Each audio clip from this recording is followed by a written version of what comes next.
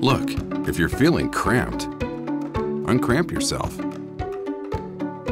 And you won't feel overwhelmed by the idea of selling your home while you buy another.